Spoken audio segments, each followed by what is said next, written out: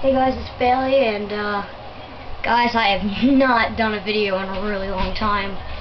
I don't know why either, but as you can see here, I have a deck of cards, and um, well, yeah, it's normal, everything like that, just a normal deck of cards. And you know what I've been practicing? I've been practicing trying to get an ace, just to all of a sudden show up like, like I was like checking every card, everything like that going like that, cards, cards. Anyway, it doesn't work. But what? But guys, this is magic part one, I'm gonna have five parts of this magic. And starting here today is um looking for an ace. So here we go. I'm just gonna, if guys, if you see like an ace go by, then that means that I messed up. But there are four aces in each deck of cards so I can um still get it.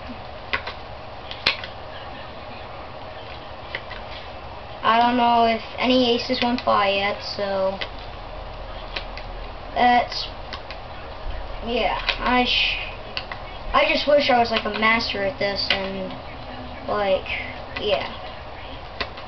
But anyway, okay. I'm going to try this card. I'm going to see. So this should be an ace. Here we go. No way! Guys, it's seriously an ace. Look at that. That is a perfect ace. Ace of clubs right there. Wow. Well, um, guys, um, that was my, that was my first trick that I, um, got here today. So this is part one. Um, part two um, will probably in about like probably next week or something like that, and I'll have five parts. Um, next week I'll probably try to make it into a 53 deck. I'll see if I can do that. Well, anyway, guys, um, that's my video.